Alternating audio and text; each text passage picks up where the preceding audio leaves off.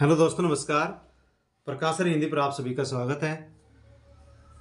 दोस्तों, ये वीडियोस कक्षा दस में क्षितिज भाग दो, चैप्टर पहला है काव्यखंड का सूरदास, जिनकी चार पद कक्षा दस में। क्षितिज भाग दो काव्यखंड यानी पद्य खंड में जो पहला चैप्टर है, सूरदास, जिसके चार पद हमारी पाठ्य पुस्तक में जोड़े गए कक्षा दस में। उन चार पदों को हम पढ़ते हैं। कठिन शब्दार्थ, व्याख्या, प्रसंग और विशेष जानते हैं।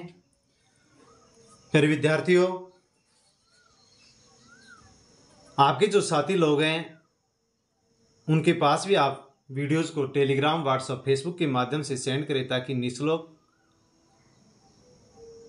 इन वीडियोस का सभी को फ़ायदा मिल सके। ये पहला चैप्टर है सूरदास। इसी प्रकार से आपके क्षितिज पुस्तक में जितने भी पद्य के भाग हैं, चैप्टर हैं, उनको हम पढ़ेंगे। एक सीरीज़ के माध्यम से प्रकाशर हिंदी यूट्यूब चैनल पर आपको प्ले लिस्ट के रूप में ये सभी चैप्टर धीरे धीरे उपलब्ध होते रहेंगे।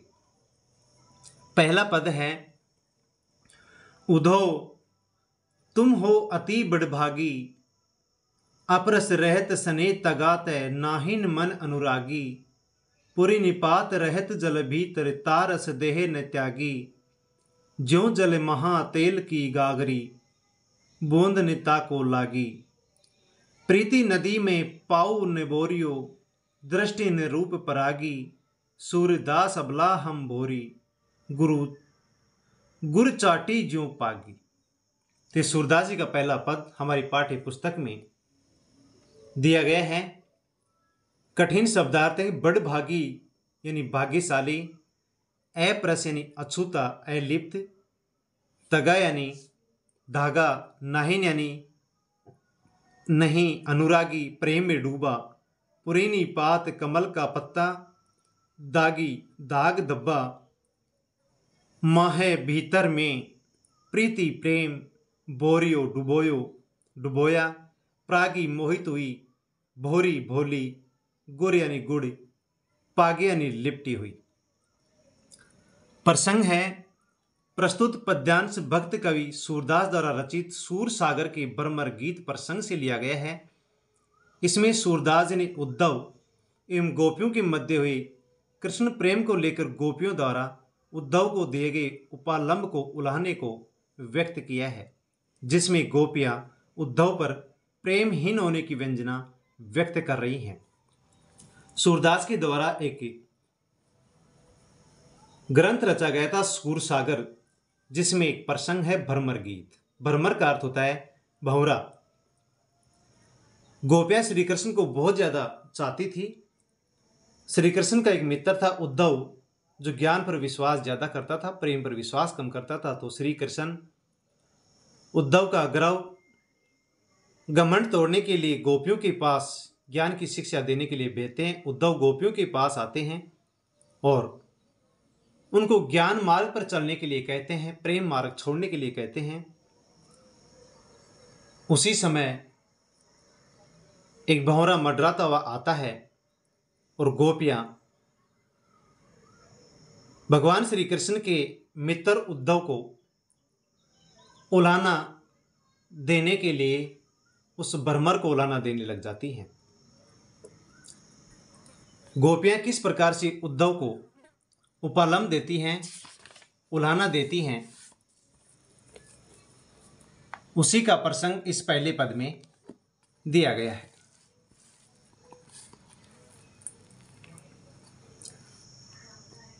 पहले पद की व्याख्या है,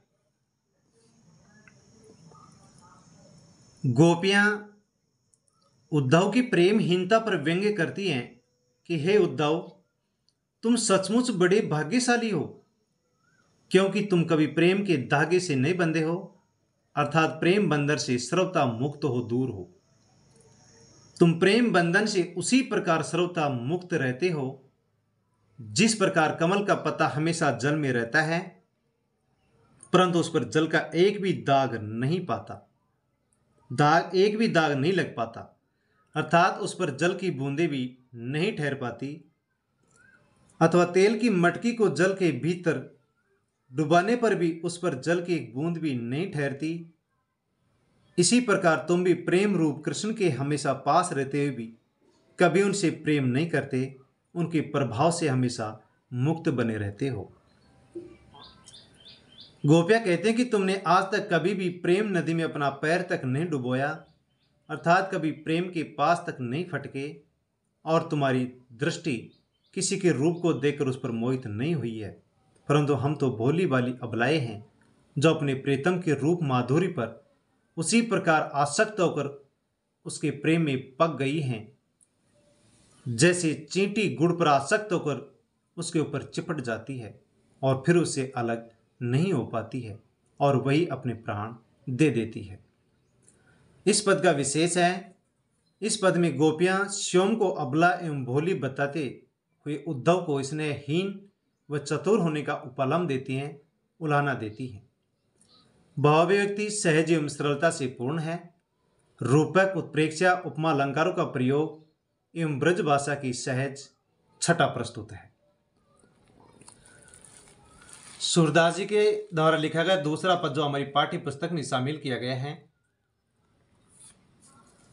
दूसरा पद है, मन की मन ही मांझ रही। मन की मन ही मांझ रही, कही जाए कौन पे उदो, नाही परत कही। अवधि आधार आस आवन की तनमन बिथा सही। अभी जोग निसनी सुनी सुनी ब्रहिनी बिरह दही। चाहती उती गुहारी जिति ही तय उतते दहार बही। सूरदास अब धीर दरही क्यों? मर ज़्यादा न लही। कठिन शब्दार्थ इस पद के। माज का अर्थ होता है मध्य में। अवधि यानी समय। अधार यानी आधार या सहारा। आस यानी आशा। आवन की यानी आने की। बिथा यानी पीड़ा। दही यानी जलना। गुहारी रक्षा के लिए पुकारना। बही यानी बहना। धीर धैर्य। दर ही रखे, धारण करे मर्यादा यानी मर्यादा, लही यानी ग्रहण। दूसरे पद की व्याख्या है,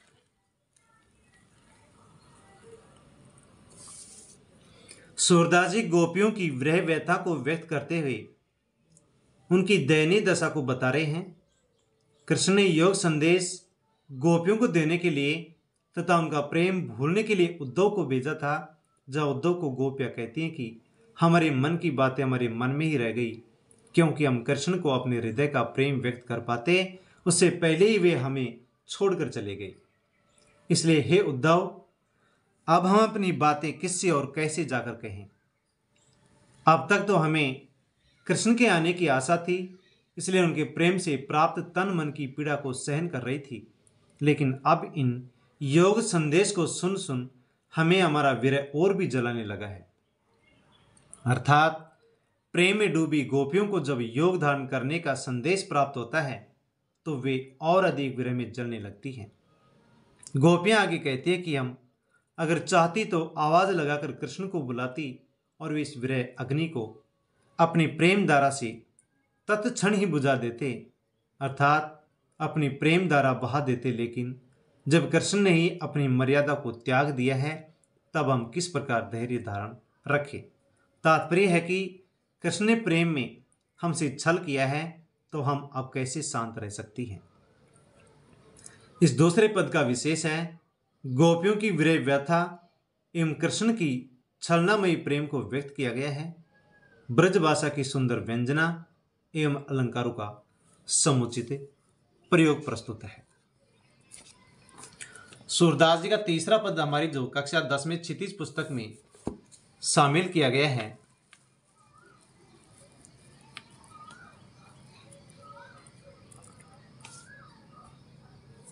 तीसरा पद है, हमारे हरी हारिल की लकड़ी, हमारे हरी हारिल की लकड़ी, मन करम बचन नंद नंदन उर, ये दृढ़ करी पखरी, जागत सोवत सौपन दिवस निसी। काने काने जखरी, सुनित जोग लगत, सुनित जोग लागत है ऐसो ज्यो करुई ककरी, सूतो व्याधि हमको ल आए देखी सुने न करी, ये तो सूर तिन्ही ल सूपी, जिनके मन चकरी। तीसरे पद के कठिन शब्दार्थ हैं, हारिल का अर्थ है, एक पक्षी विशेष जो हमेशा अपने पंजों में कोई न कोई लकड़ी का टुकड़ा या तिनका पकड़े रहता है। क्रम यानी क्रम और यानी हृदय, दृढ़ यानी मजबूती से, जक यानी रटन धुन करो यानी कड़वी, ककरी यानी ककड़ी व्याधि यानी बीमारी, चक्री यानी चंचल, चकी के समान सदैव अस्थिर रहने वाला। इस पद का प्रसंग है, प्रस्तुत पद्यांश भक्त कवि सूरदास द्वारा रचित सूर सागर के बर्म गीत प्रसंग से लिया गया है। योग सिखाते आए उद्धव को गोप्या कृष्ण के प्रति दृढ़ प्रेम को व्यक्त करती हैं। वे कहती हैं कि हारिल पक्षी द्वारा पकड़ी गई लकड़ी के समान उनका प्रेम दृढ़ एवं एक निष्ठ है। तीसरे पद की व्याख्या कृष्ण के प्रति अपने दृढ़ प्रेम का वर्णन करती हुई गोपियाँ उद्धव से कहते हैं कि, हे उद्धव, हमारे लिए तो कृष्ण हारिल पक्षी की लकड़ी के समान बन गए हैं। अर्थात, जिस प्रकार हारिल हारिल पक्षी हर समय अपने पंजों में लकड़ी या तिनके को पकड़े रहता है, उसी प्रकार हम भी निरंतर अपने कृष्ण का ध्यान करती रहती हैं। हमने मन, वचन और क्रम से नंद नंदन रूपी लकड़ी को, अर्थात श्री कृष्ण के रूप और उनकी स्मृति को, अपने मन द्वारा कसकर पकड़ लिया है। अब उसे हमसे कोई भी नहीं छुड़ा सकता है। हमारा मन जागते सोते चाहे किसी भी दशा में क्यों न हो, हमेशा ही कृष्ण कृष्ण की रट लगाई रहता है, अर्थात उन्हीं का ध्यान करता रहता है। गोपिया कहते हैं कि, हे बरमर, तुम्हारी योग की बातें सुनते हमें ऐसा लगता है कि मानो हमने कड़वी ककड़ी खा ली हो। अर्थात तुम्हारी ये योग की बातें हमें नितांत रुचिकर लगती हैं। तुम तो हमारे लिए ऐसी मुसीबत ले आए हो जिसे हमने न तो कभी देखा, न सुना और न कभी भुगताई ही है। अर्थात, हम तुम्हारी इस योग रूपी बीमारी से पूरी तरह अपरिचित हैं, अनजान हैं। इसलिए इस बीमारी को तुम उन लोगों को जाकर के दो, जिनके मन चक्री के समान हमेशा चंचल रहते हैं, अर्थात भटकते रहते हैं। परंतु हमारी चित्तवृत्ति तो पहले से ही कृष्ण प्रेम में स्थिर हो चुकी है, इसलिए तुम्हारा यह योग हमारे लिए व्यर्थ है, बेकार है। तीसरे पद का विशेष है, गोपियों ने अपने प्रेम की दृढ़ता एवं एक निष्ठा को हारिल पक्षी की उपमा देकर व्यक्त किया है। ब्रज भाषा का प्रयोग तथा रूपक उपमा अलंकार की छटा अदर्शनीय है, दर्शनीय है। विरह में डूबी गोपियों की सहज भावी व्यक्ति का वर्णन है। सूरदास जी का सूरदास जी के द्वारा लिखा गया चौथा पद जो हमारी पाठ्य पुस्तक में शामिल किया गया है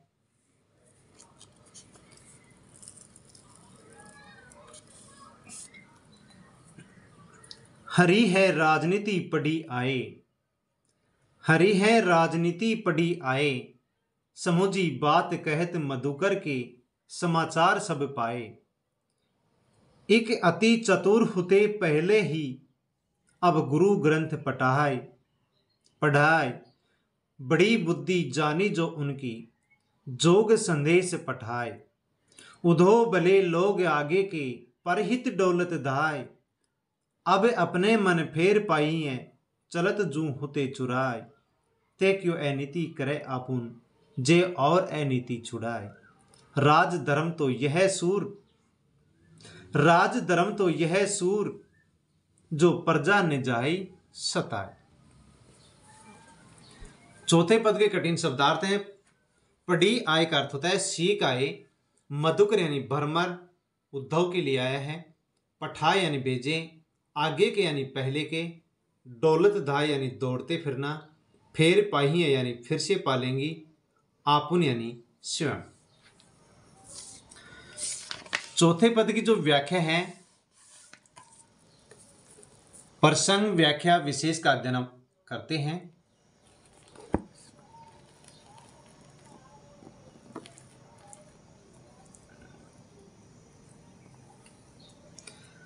प्रसंग है, प्रस्तुत पद्यांश भक्त कवि सूरदास द्वारा रचित। सूर सागर के बर्मर गीत प्रसंग से लिया गया है, जिसमें योग संदेश देने आए उद्धव को गोपिया अपने प्रेम के उपालंब दे रही है। उनका कहना है कि श्री कृष्ण ने अब प्रेम के बदले राजनीति सीख ली है और उसी का प्रयोग योग संदेश देकर कर रहे हैं। तो प्यारे विद्यार्थियों, यदि वीडियोस को एक बार, दो बार, तीन बार देखा जाए तो आसानी से आप इन चारों पदों के कठिन शब्दार्थ प्रसंग व्याख्या और विशेष को समझ सकते हैं, आसानी से आपकी समझ में आ जाएगा। चौथे पद की व्याख्या है, गोपियाँ कृष्ण द्वारा भेजे गए योग संदेश को लेकर कह रही हैं कि एक तो कृष्ण पहले से ही चतुर थे और अब गुरु से राजनीति शास्त्र भी पढ़ लिया है।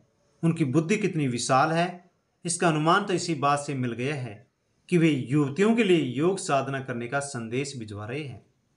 अर्थात इससे प्रमाणित हो गया है कि वे बुद्धिमान ने होकर मूर्ख हैं, क्योंकि कोई मूर्ख ही प्रेम युवती, प्रेमी युवतियों के लिए योग साधना का, योग साधना को उचित मान सकता है, बुद्धिमान नहीं। यानी जो बुद्धिमान होगा, वो ऐसा नहीं कर सकता है जो मूर्ख है, वही प्रेमी युवतियों के लिए योग साधना को सही मान सकता है। गोपी कहती है कि, हे सखी एक सखी दूसरी सखी से कहती है कि पुराने जमाने में सज्जन पुरुष दूसरों की भलाई करने के लिए इधर उधर दौड़ते फिरते थे और ये आज के सज्जन पुरुष उद्धव जी हैं, जो दूसरों को दुख देने और सताने के लिए यहाँ तक दौड़े चले आए हैं। हम तो केवल इतना ही चाहती हैं कि हमें हमारा मन फिर मिल जाए, जिसे कृष्ण यहाँ से जाते समय चुपचाप चुराकर अपने साथ ले गए थे। परंतु कृष्ण जैसे लोगों से ऐसे न्यायपूर्ण कार्य की आशा कैसे की जा सकती है? अर्थात, हमारी रीति तो कृष्ण से प्रेम करने की थी और कृष्ण चाहते हैं कि हम अपनी इस रीति को त्याग कर उनसे प्रेम करना छोड़, योग साधना को अपना ले। ये उनका सरासर अन्याय है। सूरदास के वर्णानुसार गोपियाँ कहने लगी कि, सच्चा राजधर्म तो उसी को माना गया है, जिसके अंतर्गत प्रजाजनों को कभी भी सताया नहीं जाए। अर्थात, कृष्ण अपना स्वार्थ साधने के लिए हमारे सुख चैन को हमसे छीन कर हमें दुखी करने का प्रयत्न कर रहे हैं। यह उनकी उसी कुटिल राजनीति का एक अंग है। चौथे पद का विशेष है, इस पद में गोपियों की वाक चातुर्य की प्रस्तुति है, जिसमें वे अपने मन को कृष्ण से वापस आती है। ब्रज भाषा की सुंदर प्रस्तुति एवं बाहों की सरलता व्यक्त हुई है। रूपक अलंकार एवं गीता प्रस्तुत है। प्यारे विद्यार्थियों, कक्षा दस में क्षितिज का जो पद्य खंड है, उसका पहला चैप्टर सूरदास, जिनकी चार पद सूर सागर भरमरगी से लिए गए हैं, जिनको हमने पढ़ा है, उनकी कठिन शब्दार प्रसंग व्याख्या और विशेष को जाना है। वीडियो को एक बार, दो बार, तीन बार। यदि हम देखते हैं, जितनी बार देखते हैं, उतना ही अच्छी तरह से इन पदों के कठिन शब्दार्थ, प्रसंग, व्याख्या और विशेष हमारी समझ में आएँगे। परीक्षा में हम अच्छे अंक लेकर के आएँगे। हमारे जितने भी साथी हैं, उनके पास भी वीडियोस को टेलीग्राम व्हाट्सएप फेसबुक के माध्यम से सेंड करें, ताकि सभी को इन निःशुल्क कक्षाओं का फ़ायदा मिल सके। धन्यवाद।